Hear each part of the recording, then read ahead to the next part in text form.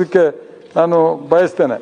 ಸನ್ಮಾನ್ಯ ಅಧ್ಯಕ್ಷ, ಅದೇ ರೀತಿ ನಾವು ಬಾಳೆಹೊನ್ನೂರು, ಸುಮಾರು ಮೂವತ್ತು ಸಾವಿರಕ್ಕೂ ಹೆಚ್ಚು ಜನಸಂಖ್ಯೆ ಬಾಳೆಹೊನ್ನೂರಿನಲ್ಲಿದೆ, ಸನ್ಮಾನ್ಯ ಅಧ್ಯಕ್ಷೆ. ಬಹುತೇಕ ನಮಗೆ ಅನೇಕ ಪ್ರವಾಸಿ ತಾಣಗಳಿದ್ದಾವೆ ಕುದೇಮುಖ ರಾಷ್ಟ್ರೀಯ ಉದ್ಯಾನವನ ಇರ್ಬೋದು, ಅಥವಾ ರಂಭಾಪುರಿ ಪೀಠ ಇರ್ಬೋದು ಮತ್ತು ಆದಿ ನಮ್ಮ ಶಂಕರಾಚಾರ್ಯರ ಶೃಂಗೇರಿ ಶ್ರೀಪೀಠ ಇರ್ಬೋದು, ಅಥವಾ ಪಂಡಿಗಡಿ ಪೀಠ ಇರ್ಬೋದು, ಹರಿಹರ್ಪುರ ಮಠ ಮಠಗಳಿರ್ಬೋದು. ಹೀಗೆ ಹತ್ತು ಹಲವು ಜ್ವಾಲಮಾಲಿನಿ ಮಠ ಈ ರೀತಿ ಹತ್ತು ಹಲವು ಮಠಗಳಲ್ಲಿರೋದ್ರಿಂದ ಬರೀ ಕೋಟ್ಯಾಂತರ ಜನ ಪ್ರತಿ ವರ್ಷ ಪ್ರವಾಸಕ್ಕೋಸ್ಕರ ಆ ಭಾಗದಲ್ಲಿ ಬರ್ತಾರೆ ಅಂತ ಸಂದರ್ಭ ರಾಜೇಗೌಡ್ರೆ ಅದು ರಸ್ತೆ ಮಧ್ಯದಲ್ಲಿ ಇರೋದ್ರಿಂದ ಅಲ್ಲಿ ಒಂದು ಐವತ್ತು ಬೆಡ್ ಹಾಸ್ಪಿಟಲ್ ಅನ್ನ ಮಂಜೂರು ಮಾಡಿಕೊಂಡ್ರೆ ಬಹಳ ಅನುಕೂಲ ಆಗ್ತದೆ. ನೋಡ್ರಿ ಅದು ಅಲ್ಲ ಸುಮಾರು ವಿಷಯ ಇದಾವೆ. ನಾನು ಮುಗಿಸ್ತೇನೆ ಸರ್ ಅಧ್ಯಕ್ಷ. ನಾನೊಂದು ಒಂದು ಅರ್ಧ ಗಂಟೆ ಕೇಳಿದ್ರೆ ಒಂದು ಕಾಲು ಗಂಟೆ ಮುಗಿಸ್ತೀನಿ. ಅಲ್ಲಿಗೆ ನೋಡಿದ್ರೆ ಗೊತ್ತಾಗುತ್ತೆ ಯಾಕಂದ್ರೆ ಸುಮಾರು ಹತ್ತು ಕೋಟಿ ರೂಪಾಯಿ ಬೆಲೆ ಬಾಳುವಂತ ಜಾಗವನ್ನ ಅಲ್ಲಿ ಎಂ ಡಿ ಬಾಲಕೃಷ್ಣ ಸಹದೇವು ಮತ್ತು ಅವರೆಲ್ಲ ಕುಟುಂಬದವರು ದಾನವಾಗಿ ಕೊಟ್ಟಿದ್ದಾರೆ ಸನ್ಮಾನ್ಯ ಅಧ್ಯಕ್ಷರೇ. ಹಾಗಾಗಿ ಅಲ್ಲಿ ಅದನ್ನ ಮಂಜೂರು ಮಾಡಲಿಕ್ಕೆ ಬಜೆಟ್ನಲ್ಲಿ ಪ್ರಾವಿಷನ್ ಮಾಡಬೇಕಿತ್ತು ಅದು ಇಲ್ಲ. ಹಾಗೇನೆ ಕುದುರೆಗುಂಡಿಯಲ್ಲಿ ಕೂಡ ಒಂದು ಪ್ರಾಥಮಿಕ ಆರೋಗ್ಯ ಕೇಂದ್ರ ಬೇಕಾಗಿತ್ತು. ಇವತ್ತೇನಾಗಿದೆ ನಮಗೆ ಮೂರು ತಾಲೂಕುಗಳು ಬರ್ತವೆ ಸನ್ಮಾನ್ಯ ಅಧ್ಯಕ್ಷೆ. ಅದರಲ್ಲಿ ಎರಡು ತಾಲೂಕುಗಳಲ್ಲಿ ನಮಗೆ ಮಿನಿ ವಿಧಾನಸೌಧವನ್ನು ಕಟ್ಟಿಕೊಟ್ಟಿದ್ದಾರೆ ಅದಕ್ಕೆ ಮೇಲ್ಚಾವಣಿನೇ ಹಾಕಿಲ್ಲ. ಪ್ರತಿ ವರ್ಷ ನಾನು ಅರ್ಜಿ ಕೊಡೋದು, ಅದರಲ್ಲಿ ಯಾವುದೇ ಸರ್ಕಾರ ಅದಕ್ಕೆ ಅಭಿವೃದ್ಧಿ ಮಾಡಲಿಕ್ಕೆ, ಅದನ್ನು ದುರಸ್ತಿ ಮಾಡಲಿಕ್ಕೆ ಒತ್ತು ಕೊಡಲಿಲ್ಲ. ಅಂತ ಬೃಹದಾಕಾರದ ಕಟ್ಟಡಗಳು ಸೋರಿಕೆಯಿಂದ, ಆ ಕಟ್ಟಡಗಳೇ ಇವತ್ತು ಬಿದ್ದೋಗ್ತಕ್ಕಂಥ ಒಂದು ಪರಿಸ್ಥಿತಿಯಲ್ಲಿ ಇದಾವೆ ಎರಡು ಮಿನಿ ವಿಧಾನಸೌಧಗಳು. ಹಾಗಾಗಿ ಅದಕ್ಕೆ ರೂಫಿಂಗ್ ಮಾಡೋದಕ್ಕೆ ಬಜೆಟ್ನಲ್ಲಿ ಅವಕಾಶ ಮಾಡಬೇಕಿತ್ತು. ನಾವು ಕೇಳಿದ್ರು ಕೂಡ ಮಾಡಿಲ್ಲ. ಇನ್ನು ಮುಂದೆನಾದರೂ ಕೂಡ ಪಿ ಡಬ್ಲ್ಯೂ ಇಲಾಖೆಯಿಂದ ಅದಕ್ಕೆ ಅನುದಾನವನ್ನು ಒದಗಿಸ್ಕೊಡ್ಬೇಕು ಅಂತಕ್ಕಂಥ ಮಾತನ್ನ ನಾನು ಈ ಸಂದರ್ಭದಲ್ಲಿ ಹೇಳಲಿಕ್ಕೆ ಬಯಸ್ತೇನೆ. ಹಾಗೇನೆ ಇವತ್ತೇನು ಡಯಾಲಿಸಿಸ್ ಯಂತ್ರಗಳು ಇವತ್ತದು ಯಾರೋ ಒಂದು ಆಂಧ್ರ ಬೇಸ್ಡ್ ಕಂಪನಿಗೆ ಗುತ್ತಿಗೆ ಆಧಾರದ ಮೇಲೆ ಕೊಟ್ಟಿದ್ದಾರೆ ಸನ್ಮಾನ್ಯ ಅಧ್ಯಕ್ಷರೇ. ಆ ಕೊಡೋಂಥ ಸಂದರ್ಭದಲ್ಲಿ ಅವರಿಗೆ ನಿರ್ವಹಣೆ ಸರಿ ಮಾಡ್ತಾ ಇಲ್ಲ. ಬಹಳ ತೊಂದರೆ ಆಗ್ತಾ ಇದೆ. ಅದು ಸೈಕ್ಲಿಂಗ್ ಪ್ರತಿ ದಿನ ಇಂತಿಂಥವರಿಗೆ ಇಷ್ಟು ಟೈಮಿಂದ ಇಷ್ಟು ಟೈಮ್ವರೆಗೆ ಇಷ್ಟು ಟೈಮಿಂದ ಇಷ್ಟವರೆಗೂ ಅವ್ರ ಪೇಷಂಟ್ಗಳಿಗೆ ಸಮಯ ನಿಗದಿ ಮಾಡಿರ್ತಾರೆ. ಬಟ್ ಅದು ಒಂದು ಮೆಷಿನ್, ಡಯಾಲಿಸಿಸ್ ಮೆಷಿನ್ ಹಾಳಾದರೆ ಅದನ್ನು ದುರಸ್ತಿ ಮಾಡೋದಕ್ಕೆ ಕ್ರಮ ಕೈಗೊಳ್ತಿಲ್ಲ. ಅದ್ರ ಬಗ್ಗೆ ತಾವು ಮಾನ್ಯ ನಮ್ಮ ಆರೋಗ್ಯ ಸಚಿವರ ಗಮನ ಸೆಳೆದು ಅದ್ರ ಬಗ್ಗೆ ಹೆಚ್ಚು ಒತ್ತನ್ನು ಕೊಡಬೇಕು ಅಂತಕ್ಕಂಥ ಮಾತನ್ನು ಕೂಡ ನಾನು ಈ ಸಂದರ್ಭದಲ್ಲಿ ಹೇಳ್ತಾ, ಇವತ್ತು ಏನು ನಮಗೆ ಆಸಿಡ್ ದಾಳಿಗೆ ಒಳಗಾದಂಥ ಜನರಿಗೆ, ಮಹಿಳೆಗಾಗಲಿ, ಜನರಿಗಾಗಲಿ, ಇವತ್ತು ಪ್ರತಿ ಮಾಸಿಕ ಹತ್ತು ಸಾವಿರ ರೂಪಾಯಿ ಕೊಡೋಂಥ ಒಂದು ತೀರ್ಮಾನವನ್ನು ತೆಗೆದುಕೊಂಡಿದ್ದೀರಿ. ಅದು ನಿಜವಾಗೂ ಒಂದು ಒಳ್ಳೆಯ ತೀರ್ಮಾನ. ಅದಕ್ಕೆ ನಾನು ಸರ್ಕಾರವನ್ನು ನಾನು ಅಭಿನಂದಿಸ್ತೇನೆ ಸನ್ಮಾನ್ಯ ಅಧ್ಯಕ್ಷೆ ಅದೇ ರೀತಿ ನಾವು ಅಡಿಕೆ ಎಲೆ ಚುಕ್ಕಿ ರೋಗ ಬಹಳಷ್ಟು ದಿನಗಳಿಂದ ಇವತ್ತು ರೈತರನ್ನ ಸಂಪೂರ್ಣವಾಗಿ ಇವತ್ತು ಕಾಡ್ತಾ ಇದೆ. ನಾನು ಅನೇಕ ವರ್ಷಗಳಿಂದ ಅನೇಕ ಮಂತ್ರಿಗಳು ಅಲ್ಲಿ ಬಂದು ಹೋಗಿದ್ದಾರೆ ಮುಖ್ಯಮಂತ್ರಿಗಳು ಕೂಡ ಬಂದು ಭಾಗವಹಿಸಿ ಹೋಗಿದ್ದಾರೆ. ನಾವು ಅಲ್ಲಿಗೆ ಸೈಂಟಿಸ್ಟ್ಗಳನ್ನ, ಅಂದ್ರೆ ವಿಜ್ಞಾನಿಗಳನ್ನ ನೇಮಕ ಮಾಡಿಕೊಡಿ ಅಂತ ಕೇಳಿದ್ದು ಅದಕ್ಕೆ ಪೂರಕವಾಗಿ ವಿಜ್ಞಾನಿಗಳು ಒಂದು ಐದು ಕಾಲು ಕೋಟಿ ರೂಪಾಯಿ ಪ್ರಸ್ತಾವನೆಯನ್ನು ಸರ್ಕಾರಕ್ಕೆ ಸಲ್ಲಿಸಿದ್ದಾರೆ ಅನ್ನೋದು ಕೂಡ ವಿಜ್ಞಾನಿಗಳು ತಮ್ಮ ಗಮನಕ್ಕೆ ತಂದಿದ್ದಾರೆ. ಮೊನ್ನೆ ಬಜೆಟಲ್ಲಿ ತೀರ್ಥಹಳ್ಳಿಗೆ ಹತ್ತು ಕೋಟಿ ರೂಪಾಯಿ ಕೊಡ್ತೀವಿ ಅನ್ನೋ ಪ್ರಸ್ತಾವನೆಯನ್ನು ಪ್ರಸ್ತಾವನೆಯನ್ನ ಬಜೆಟ್ ಅಲ್ಲಿ ತೋರಿಸಿದೆ ಆದರೆ ಶೃಂಗೇರಿಯಲ್ಲೂ ಕೂಡ ಒಂದು ರಿಸರ್ಚ್ ಸೆಂಟರ್ ಇದೆ. ಅಲ್ಲಿ ವಿಜ್ಞಾನಿಗಳೇ ಇಲ್ಲ. ಒಂದು ಅತ್ಯುತ್ತಮವಾದಂಥ ಕೊಠಡಿ, ಎಲ್ಲ ವ್ಯವಸ್ಥೆಗಳಿದೆ ವಿಜ್ಞಾನಿಗಳಿಲ್ಲ. ಹಾಗಾಗಿ ಅಲ್ಲಿಯೂ ಕೂಡ ವಿಜ್ಞಾನಿಗಳನ್ನು ನೇಮಕ ಮಾಡಿ ಅಲ್ಲೂ ಕೂಡ ಬೇಕಾದಂಥ ಸವಲತ್ತನ್ನು ಕೊಟ್ಟು ಈ ಕಾಯಿಲೆ ಹತೋಟಿಗೆ ಅದಕ್ಕೆ ಹಳದಿ ಎಲೆ ರೋಗ ಮತ್ತು ಎಲೆ ಚುಕ್ಕಿ ರೋಗಕ್ಕೆ ಹತೋಟಿಗೆ ಸರ್ಕಾರ ಸಹಾಯಕ್ಕೆ ಬರಬೇಕು. ಇವತ್ತು ಹೇಗಿದೆ ಪರಿಸ್ಥಿತಿ ಅಂದರೆ ಮನೆ ಮಂತ್ರಿಗಳು, ಮುಖ್ಯಮಂತ್ರಿಗಳು ನೋಡಿದ್ದಾರೆ. ತಾವು ಕೂಡ ಅದನ್ನು ಗಮನಿಸಿದ್ದೀರಿ. ಅವ್ರ ಬಗ್ಗೆ, ರೈತರ ಬಗ್ಗೆ ಕಳಕಳಿ ಕಾಳಜಿ ವಹಿಸ್ತಲೇ ಇದೆ ಸನ್ಮಾನ್ಯ ಅಧ್ಯಕ್ಷರೇ. ಇವತ್ತು ರೈತರು ಭಾಳಷ್ಟು ರೈತರು ಗುಳೆ ಹೋಗ್ತಕ್ಕಂಥ ಒಂದು ಪರಿಸ್ಥಿತಿ ನಿರ್ಮಾಣ ಆಗಿದೆ ಸನ್ಮಾನ್ಯ ಅಧ್ಯಕ್ಷರೇ. ಹಾಗಾಗಿ ಇವತ್ತು ಅವರ ಸಹಾಯಕ್ಕೆ ಸರ್ಕಾರ ಬರಬೇಕು. ಈ ವರ್ಷ ಏನಾದರೂ ಅದೇ ಪರಿಸ್ಥಿತಿ ಮುಂದುವರೆದ್ರೆ, ಮುಂದೆ ಬಡ್ಡಿ ಮತ್ತು ಸಾಲ ಮನ್ನಾ ಮಾಡ್ತಕ್ಕಂಥ ಒಂದು ವ್ಯವಸ್ಥೆ ಸರ್ಕಾರ ಆಶ್ವಾಸನೆ ಕೊಡಬೇಕು ಅನ್ನೋ ಮಾತನ್ನು ನಾನು ಈ ಸಂದರ್ಭದಲ್ಲಿ ಹೇಳಲಿಕ್ಕೆ ಬಯಸ್ತೇನೆ. ಅದೇ ರೀತಿ ಸನ್ಮಾನ್ಯ ಅಧ್ಯಕ್ಷರೇ, ಇವತ್ತು ದೋಟಿಗೆ ಈಗಾಗಲೇ ಕೂಡ ತಾವು ಚುಕ್ಕಿ ಪ್ರಶ್ನೆಯಲ್ಲಿ ಅವಕಾಶ ಮಾಡಿಕೊಟ್ಟಿದ್ರಿ. ಅದನ್ನು ತಾವು ಏನಾದರೂ ಮಾಡಿ ತೊಂಬತ್ತು ಪರ್ಸೆಂಟಿಗೆ ಮಾಡಿಕೊಡ್ಬೇಕು. ಇಲ್ದಲ್ಲ ಇದ್ರೆ ಪ್ರತಿ ವರ್ಷ ಎಂಟು ಹತ್ತು ಜನ ಸಾಯ್ತಾರೆ ಸನ್ಮಾನ್ಯ ಅಧ್ಯಕ್ಷ. ಒಂದು ಏಳೆಂಟು ಜನ ಸ್ಪೈನಲ್ ಕಾರ್ಡ್ ಕಟ್ಟಾಗಿ ಪರ್ಮನೆಂಟ್ ಉಂಡೆಡ್ ಆಗಿ ಮನೇಲಿ ಇರ್ತಕ್ಕಂಥ ಒಂದು ಪರಿಸ್ಥಿತಿ ನಿರ್ಮಾಣ ಆಗಿದೆ. ಅದಕ್ಕೆ ಸರಿಯಾದ ರೀತಿ ಪರಿಹಾರ ಕಲ್ಪಿಸಿಲ್ಲ. ಅದು ಕೂಡ ಆಗಬೇಕು. ಹಾಗೇನೆ ಕರ್ನಾಟಕ ಪಬ್ಲಿಕ್ ಸ್ಕೂಲ್ ಅಂತಕ್ಕಂಥ ಒಂದು ಕಾನ್ಸೆಪ್ಟನ್ನು ಶಿಕ್ಷಣ ಇಲಾಖೆ ತಂದುಕೊಡಿ ಸನ್ಮಾನ್ಯ ಅಧ್ಯಕ್ಷೆ. ಅದು ತುಂಬ ಒಳ್ಳೆ ಕಾನ್ಸೆಪ್ಟ್ ಯಾಕೆಂದ್ರೆ ಹಳ್ಳಿ ಹಳ್ಳಿಗಳಲ್ಲಿ ಈಗಾಗಲೇ ಮಕ್ಕಳ ಸಂಖ್ಯೆ ಕಡಿಮೆ ಆಗಿ ಸ್ಕೂಲ್ ಮುಚ್ಚುತ್ತಾ ಇದ್ದಾವೆ ಸುಮ್ಮನೆ ಅನಗತ್ಯ ಶಿಕ್ಷಕರು ಕೂಡ ಅಲ್ಲಿದ್ದಾರೆ. ಆ ಕರ್ನಾಟಕ ಪಬ್ಲಿಕ್ ಸ್ಕೂಲ್ ಅಂತ ಏನು ಕಾನ್ಸೆಪ್ಟ್ ಮಾಡಿದಿರಿ? ಏನು ಖಾಸಗಿ ಶಿಕ್ಷಣ ಸಂಸ್ಥೆಗಳ ತರ ತಾವು ಬಸ್ಸಿನ ವ್ಯವಸ್ಥೆ ಮಾಡಿ ಆ ಕರ್ನಾಟಕ ಪಬ್ಲಿಕ್ ಸ್ಕೂಲ್ಗೆ ಏನೇನು ವ್ಯವಸ್ಥೆಗಳು ಬೇಕು ಅದು ಕಟ್ಟಡಗಳಿರ್ಬೋದು ಆಟ ಮೈದಾನ ಕಂಪ್ಯೂಟರ್ಸ್ ಇರ್ಬೋದು ಲ್ಯಾಬ್ ವ್ಯವಸ್ಥೆ ಇರ್ಬೋದು, ಎಲ್ಲ ವ್ಯವಸ್ಥೆಯನ್ನು ಮಾಡಿಕೊಟ್ರೆ ಖಂಡಿತವಾಗೂ ಸರ್ಕಾರದ ಶಾಲೆಗಳು ಉಳಿತವೆ. ಜೊತೆಗೆ ಗುಣಮಟ್ಟದ ಶಿಕ್ಷಣ ಸರ್ಕಾರಿ ಶಾಲೆಗಳಲ್ಲೂ ಕೂಡ ಸಿಗ್ತದೆ. ಏನು ಶಾಲೆ ಮುಚ್ಚೋದಕ್ಕೆ ಮುಚ್ಚಲಿಕ್ಕೆ ಬಂದಿದ್ದಾವೆ.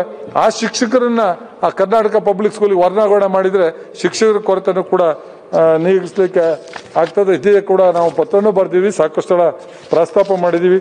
ಅದಾಗಿಲ್ಲ. ಹಾಗೇನೆ ಸರ್ಕಾರಿ ನೌಕರರಿಗೆ ಏಳನೇ ವೇತನದ ಆಯೋಗದ ಬಗ್ಗೆ ಯಾವುದೇ ಉಲ್ಲೇಖ ಇಲ್ಲ. ಅದನ್ನು ಕೂಡ ಅವಕಾಶ ಮಾಡಿಕೊಡ್ಬೇಕು. ಹಾಗೇನೆ ಸರ್ವೇರ್ ಇಲ್ಲ, ಅಧಿಕಾರಿಗಳು, ತಹಸೀಲ್ದಾರ್ ಕಚೇರಿ ಯಾವುದೇ ತಹಸೀಲ್ದಾರ್ ಕಚೇರಿಯಲ್ಲಿ ಅಧಿಕಾರಿಗಳಿಲ್ಲ. ಅದ್ರ ಬಗ್ಗೆನೂ ಸರ್ಕಾರ ಈ ಸರಿ ಒಂದು ಕಟ್ಟುನಿಟ್ಟಿನ ಕ್ರಮವನ್ನು ತೆಗೆದುಕೊಂಡು ಅಧಿಕಾರಿಗಳನ್ನ ಅಲ್ಲಿಗೆ ಹಾಕಿಕೊಡ್ತಕ್ಕಂಥ ಕೆಲಸವನ್ನ ಸರ್ಕಾರ ಮಾಡಬೇಕು ಅನ್ನೋ ಮಾತನ್ನ ನಾನು ಈ ಸಂದರ್ಭದಲ್ಲಿ ಹೇಳಲಿಕ್ಕೆ ಬಯಸ್ತೇನೆ. ಇವತ್ತು ಸರ್ಕಾರ ರೈತರಿಗೆ, ಅಂದರೆ ಕಾಫಿ ಬೆಳೆಗಾರರಿಗೆ ಭೂಮಿಯನ್ನು ಲೀಸ್ ಕೊಡ್ತಕ್ಕಂಥ ಒಂದು ವ್ಯವಸ್ಥೆಯನ್ನು ಇವತ್ತು ಸನ್ಮಾನ್ಯ ಮುಖ್ಯಮಂತ್ರಿಗಳು, ಸನ್ಮಾನ್ಯ ಅಶೋಕ್ ಅವರು ಮತ್ತು ಅರಣ್ಯ ಸಚಿವರು ತಾವೆಲ್ಲ ಕೂತು ಅನೇಕ ಸಭೆಗಳು ನೋಡಿ ಅದಕ್ಕೆ ಅವಕಾಶ ಕಲ್ಪಿಸ್ಕೊಟ್ಟಿದ್ರಿ ಅದಕ್ಕೆ ನಾನು ಈ ಸರ್ಕಾರವನ್ನು ಮುಕ್ತ ಕಂಠದಿಂದ ಅಭಿನಂದಿಸಲಿಕ್ಕೆ ನಾನು ಬಯಸ್ತೇನೆ. ಅದರದಲ್ಲಿ ಒಂದು ತೊಂದರೆ ಆಗಿದೆ ಸನ್ಮಾನ್ಯ ಅಧ್ಯಕ್ಷೆ ಈಗ ಏನೇನು ಭೂಮಿ, ಖಾಲಿ ಭೂಮಿ ಇದೆಯೋ, ಏನು ರೆವಿನ್ಯೂ ಜಾಗ, ಗೋಮಾಳ ಸೊಪ್ಪಿನ ಬೆಟ್ಟ, ಇವನ್ನೆಲ್ಲವನ್ನೂ ಅರಣ್ಯ ಇಲಾಖೆ ಅಧಿಕಾರಿಗಳು ಯಾವುದೇ ಮಾನದಂಡಗಳನ್ನ ಬಳಸ್ತಾರೆ. ಒಂದು ರೀತಿ ಅವೈಜ್ಞಾನಿಕವಾಗಿ ಅವೆಲ್ಲವನ್ನೂ ಫೋರನ್ ನೋಟಿಫಿಕೇಶನ್ ಮತ್ತು ಡೀಮ್ಡ್ ಫಾರೆಸ್ಟ್, ಹಾಗೇನೆ ಸಪ್ಪಿನ ಪಟ್ಟನು ಕೂಡ ಫೋರನ್ ನೋಟಿಫಿಕೇಶನ್ ಮಾಡಿದ್ದಾರೆ. ಹಾಗಾಗಿ ಇವತ್ತು ಈ ಯೋಜನೆ ಜಾರಿ ಮಾಡಲಿಕ್ಕೆ ಅವುಗಳನ್ನು ವಿಡ್ರಾ ಮಾಡಿದ್ದಾರೆ. ಸರ್ಕಾರಕ್ಕೆ ಅಧಿಕಾರ ಇದೆ ವಿಡ್ರಾ ಮಾಡೋದಕ್ಕೆ. ಸರ್ಕಾರ ಅದನ್ನು ವಿಡ್ರಾ ಮಾಡಿದರೆ ಖಂಡಿತವಾಗೂ ಅದು ಅವ್ರಿಗೇನು ತಾವು ಯೋಜನೆ ರೂಪಿಸಿದ್ರಿ, ಅದರಿಂದ ಆ ಭಾಗದ ರೈತರಿಗೆ ಸಾಕಷ್ಟು ಸವಲತ್ತುಗಳು, ಸಹಕಾರವನ್ನು ಕೊಟ್ಟಾಗ್ತದೆ ಜೊತೆಗೆ ಕೋಟ್ಯಾಂತರ ರೂಪಾಯಿ ರೆವಿನ್ಯೂ ಕೂಡ ಸರ್ಕಾರಕ್ಕೆ ಖಂಡಿತ ಬರ್ತದೆ ಅನ್ನೋ ಮಾತನ್ನು ಹೇಳ್ತಾ ಅದ್ರ ಬಗ್ಗೆನೂ ಕೂಡ ತಾವು ಗಮನ ಹರಿಸಬೇಕು. ಹಾಗೆಯೇ ಕಳೆದ ಮೂರು ವರ್ಷಗಳಿಂದ ಲೋಕೋಪಯೋಗಿ ಇಲಾಖೆಯಲ್ಲಿ ಇವತ್ತು ಗುತ್ತಿಗೆದಾರರು ಹೊಸದಾಗಿ ನೀವು ಅನುದಾನ ಕೊಟ್ಟರು ಕೂಡ ಟೆಂಡರ್ ಹಾಕಕ್ಕೆ ಯಾರೂ ರೆಡಿ ಇಲ್ಲ. ಕಾರಣ ಅವರಿಗೆ ಅನುದಾನ ಬರ್ತಾ ಇಲ್ಲ. ಇವತ್ತು ಸುಮಾರು ಮೂರು ಸಾವಿರ ಕೋಟಿ ರೂಪಾಯಿ ಬಾಕಿ ಇದೆ. ಖಾಲಿ ಆರುನೂರು ರೂಪಾಯಿ ಸರಿ ಪ್ರಾವಿಸ, ಪ್ರಾವಿಷನ್ ಮಾಡಿದಿರಿ. ತಾವೇನಿವತ್ತು ಇಪ್ಪತ್ತೆರಡು ಇಪ್ಪತ್ತ್ಮೂರನೇ ಸಾಲಿನ ಪೂರಕ ಅಂದಾಜುಗಳು ಮೂರನೇ ಹಾಗೂ ಅಂತಿಮ ಕಂತಿನ ಬೇಡಿಕೆಗಳ ಪ್ರಸ್ತಾಪವನ್ನು ಇಟ್ಟಿದ್ದೀರಿ. ಎಲ್ಲರೂ ಕೂಡ ಹೆಚ್ಚು ಸಾಲ ತರ್ತಿರೋ ಏನು ಮಾಡ್ತಾರೆ ಪ್ರಾವಿಷನ್ ಮಾಡಿ ಗುತ್ತಿಗೆದಾರರಿಗೆ. ಅವರಿಗೆ ಇರೋಂಥ ಬಿಲ್ಲನ್ನು ಪಾವತಿ ಮಾಡಿದರೆ ಮುಂದೆ ಬರ್ತಕ್ಕಂಥ ಕಾಮಗಾರಿಗಳಿಗೆ ಟೆಂಡರು ಹಾಕ್ತಾರೆ. ಇವತ್ತೆಲ್ಲ ಗುತ್ತಿಗೆದಾರದ ಅನೇಕ ಮನೆಗಳು ಅನೇಕ ಆಸ್ತಿಗಳು ಹರಾಜಾಗಿರೋದು ಕೂಡ ನಮ್ಮ ಕಣ್ಣು ಮುಂದೆ ಇದೆ. ಕೊಪ್ಪದಲ್ಲಿ ಕೂಡ ಆ ಪರಿಸ್ಥಿತಿ ನಿರ್ಮಾಣ ಆಗಿದೆ ಸನ್ಮಾನ್ಯ ಅಧ್ಯಕ್ಷ. ಹಾಗೆ ಗುತ್ತಿಗೆದಾರರಿಗೆ ಹಣ ಪಾವತಿ ಮಾಡಲಿಕ್ಕೆ ಕ್ರಮವನ್ನ ಕೈಗೊಳ್ಬೇಕು ಗುತ್ತಿಗೆದಾರರು ಕೂಡ ಆತ್ಮಹತ್ಯೆ ಮಾಡಿರ್ತಕ್ಕಂಥದ್ದು ಕೂಡ ತಮ್ಮ ಗಮನದಲ್ಲಿದೆ. ಪತ್ರಿಕೆಲು. ಅಧ್ಯಕ್ಷ ಅಲ್ಲ. ಒಂದು ಇನ್ನೊಂದು ಹತ್ತು ನಿಮಿಷ ಕೊಡಿ. ನಾನು ಕೇಳಿದ್ದೆ ಹದಿನೈದು ನಿಮಿಷ ಹಾಗೇನೆ ಇವತ್ತು ಆಶ್ರಯ ನಿವೇಶನಕ್ಕೆ ಸರ್ಕಾರ ಭೂಮಿ ಮಂಜೂರು ಮಾಡಿಕೊಡಿದೆ ಬಟ್ ಅರಣ್ಯ ಇಲಾಖೆಯವರು ಮರ ಕಡ್ತಲೆ ಮಾಡೋದಕ್ಕೆ ಅವಕಾಶ ಬರ್ರಿ ಅಂತ. ಅಲ್ಲೂ ಕೂಡ ಪ್ರಾವಿಷನ್ ಅನ್ನ ಮಾಡ್ಕೊಡ್ಬೇಕು. ಹಾಗೇನೆ ಏನು ಮಲೆನಾಡು ಭಾಗದಲ್ಲಿ ತಾವು ಇತ್ತೀಚಿನ ದಿನಗಳಲ್ಲಿ ತಾವು ನೋಡ್ತಾ ಇದ್ರಿ ಕಾಡು ಪ್ರಾಣಿಗಳ ಹಾವಳಿಂದ ಅನೇಕ? ಸಾವು ನೋವುಗಳು ಆಗ್ತಾ ಇದೆ. ಇವತ್ತು ಪೊಲೀಸ್ ಇಲಾಖೆ ಅಧಿಕಾರಿಗಳು ಮತ್ತು ಅರಣ್ಯ ಸಿಬ್ಬಂದಿಗಳಿಗೆ ಏನಾದ್ರೂ ಏನಾದ್ರು ಅನಾಹುತ ಆಗಿ ಸತ್ತೋದ್ರೆ ಒಂದು ಕೋಟಿ ರೂಪಾಯಿ ಕೊಡ್ತೀರಿ. ರೈತರಿಗೆ ಐದು ಲಕ್ಷ ಇತ್ತು ತಾವು ಹದಿನೈದು ಲಕ್ಷ ಮಾಡಿದಿರಿ. ಅದನ್ನ ರೈತರಿಗೂ ಕೂಡ ಅದೇ ಮಟ್ಟದಲ್ಲಿ ಮಾಡಬೇಕು ಮತ್ತು ಅದರಿಂದ ಪ್ರೊಟೆಕ್ಷನ್ ಮಾಡ್ಬೇಕು. ಏನಾದ್ರು ಏನು ನೀವು ಟೆಂಟಕಲ್ ಫೆನ್ಸಿಂಗ್ ಅಂತ ಏನು ಮಾಡಿದ್ರು? ಸರಿ ನೂರು ಕೋಟಿ ಕೊಟ್ಟಿದ್ರಿ ಕೊಟ್ಟಿದ್ದೀರಿ ಈ ಸರಿ ಯಾವುದೇ ಪ್ರಸ್ತಾಪ ಇಲ್ಲ. ಹಾಗಾಗಿ ಮಲೆನಾಡು ಭಾಗದಲ್ಲಿ ಟೆಂಟಕಲ್ ಫೆನ್ಸಿಂಗ್ ಅಥವಾ ಇ ಪಿ ಟಿ ಹೊಡೆಯೋದಕ್ಕೆ ಹೆಚ್ಚು ಅನುದಾನವನ್ನು ಕೊಟ್ಟರೆ ರೈತರಿಗೆ ಸುರಕ್ಷಿತವಾಗಿ ಬದುಕೋದಕ್ಕೆ ಮತ್ತು ಅವರ ಕೃಷಿ ಚಟುವಟಿಕೆಗಳನ್ನ ಮುಂದುವರ್ಸೋಕ್ಕೆ ಅವಕಾಶ ಮಾಡಿಕೊಟ್ಟಂಗೆ ಆಗ್ತದೆ. ಹಾಗೆ ಗನ್ ಏನು ಇವತ್ತು ಸರ್ಕಾರದ ವಿವಿಧ ಸಹಾಯಧನ ಆಧಾರಿತ ಯೋಜನೆಗಳು ಭೌತಿಕ ಹಾಗೂ ಆರ್ಥಿಕ ಗುರಿಗಳು ತುಂಬ ಕಡಿಮೆ ಆಗಿದೆ. ಇವತ್ತು ಗಂಗಾ ಕಲ್ಯಾಣ ಇರ್ಬೋದು ತಾವು ಪ್ರಸ್ತಾಪ ಮಾಡಿದ್ರು ಅನೇಕರು. ಹಾಗೆ ಇವತ್ತು ಏನು ಈ ವಿಕಲಚೇತನರು ಅವರಿಗೆ ತ್ರಿಚಕ್ರ ವಾಹನಗಳನ್ನು ನಾವು ಕೊಡ್ತಾ ಇದ್ವು. ಅದಕ್ಕೂ ಕೂಡ ಅನುದಾನ ಬಿಡುಗಡೆ ಆಗ್ತಾ ಇಲ್ಲ. ಮತ್ತು S C P T S P ರಸ್ತೆಗಳನ್ನ ಅಭಿವೃದ್ಧಿ ಮಾಡೋದಕ್ಕೋಸ್ಕರ ಕಳೆದ ಒಂದು ವರ್ಷದಿಂದ ಒಂದು ರೂಪಾಯಿ ಅನುದಾನ ಕೊಟ್ಟಿಲ್ಲ. ಕೇಳಿದರೆ ಶಿಕ್ಷಣಕ್ಕೆ ಹಾಸ್ಟೆಲಿಗೆ ಕೊಟ್ಟಿದ್ದೀವಿ ಕಟ್ಟಡಕ್ಕೆ ಕೊಟ್ಟಿದ್ವಿ ಅಂತ ಹೇಳ್ತಾರೆ. ಅದು ಮೂಲಭೂತ ಸೌಕರ್ಯದಲ್ಲಿ ಅದನ್ನು ಕೂಡ ಮುಂದುವರ್ಸ್ಕೊಂಡು ಹೋಗಬೇಕು.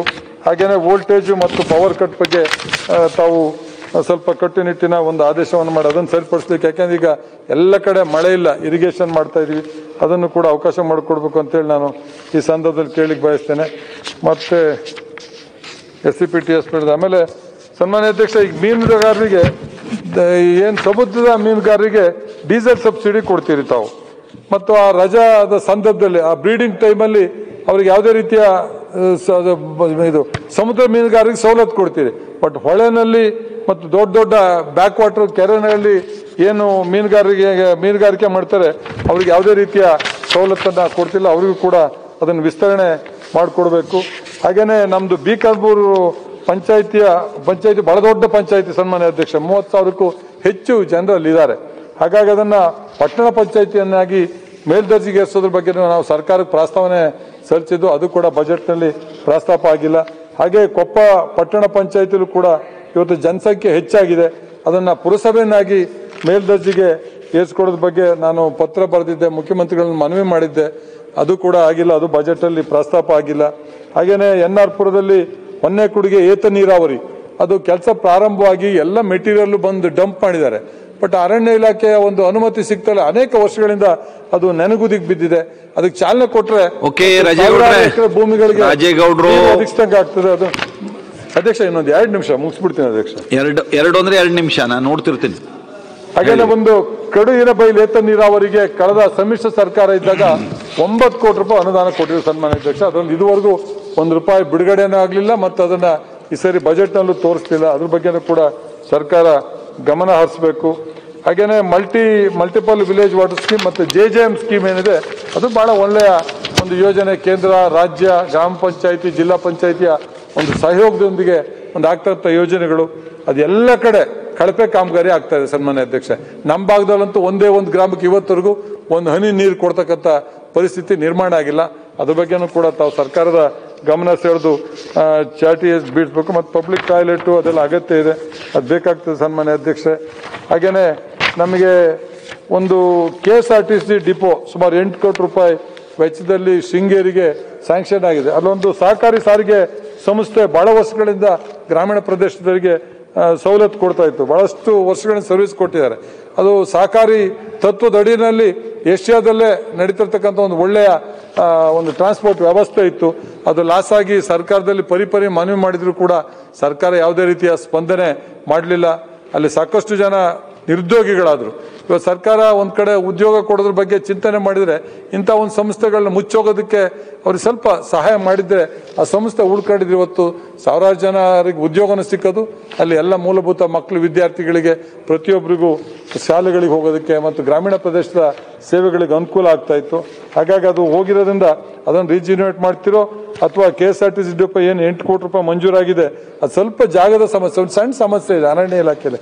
ಅದನ್ನ ಸರಿಪಡಿಸ್ಕೊಡ್ಬೇಕು ಅನ್ನೋ ಮಾತನ್ನ ಕೂಡ ಇವತ್ತು ಈ ಸಂದರ್ಭದಲ್ಲಿ ಹೇಳ್ತಾ, ಇವತ್ತು ಆ ಲೀಸ್ ಕೊಟ್ಟಿದ್ರ ಬಗ್ಗೆ ನಾನು ಈಗಾಗಲೇ ಹೇಳಿದ್ದೀನಿ ಮತ್ತು ಸನ್ಮಾನ್ಯ ಅಧ್ಯಕ್ಷ, ಈಗ ಎನ್ ಪಿ ಎಸ್ ಮತ್ತು ಒ ಪಿ ಎಸ್ ಬಗ್ಗೆ ಅನೇಕ ವರ್ಷಗಳ, ಸುಮಾರು ಒಂದು, ಒಂದೂವರೆ ವರ್ಷಗಳಿಂದ ಸರ್ಕಾರನವರು ನಿರಂತರವಾಗಿ ಧರಣಿ ನಡೆಸ್ತಾ ಇದ್ದಾರೆ. ಅದ್ರ ಬಗ್ಗೆ ಈ ಸರಿ ಬಜೆಟಲ್ಲಿ ಪ್ರಸ್ತಾಪ ಮಾಡ್ತಾರೆ. ಅನ್ನೋದು ಎಲ್ಲರ ಗಮನದಲ್ಲೂ ಇತ್ತು. ಮತ್ತು ಮುಖ್ಯಮಂತ್ರಿಗಳ ಬಳಿ ನಿಯೋಗ ಹೋದಾಗ ನಾವು ಕೂಡ ಸಭೆಯಲ್ಲಿ ಭಾಳಷ್ಟು ಜನ ಸದಸ್ಯರು ಪ್ರಸ್ತಾಪ ಮಾಡಿದಾಗ ತಾವು ಮುಂದೆ ಚರ್ಚೆ ಮಾಡೋದಕ್ಕೆ ಅವಕಾಶ ಕೊಡ್ತೀವಿ ಅಂತಿದ್ರು. ಕಾಲಾಂತ, ಕಾರಣಾಂತರದಿಂದ ಅದು ಅವಕಾಶ ಕೊಡಲಿಕ್ಕಾಗಿಲ್ಲ. ಅದ್ರ ಬಗ್ಗೆನೂ ಕೂಡ ಸರ್ಕಾರ ಪ್ರತಿಯೊಬ್ಬರು ಓಲ್ಡ್ ಪೆನ್ಷನ್ ಸ್ಕೀಮ್ನೇ ಮುಂದುವರಿಸಿದ್ರೆ ಒಳ್ಳೇದು ಅಂತ ಆಗ್ತದೆ.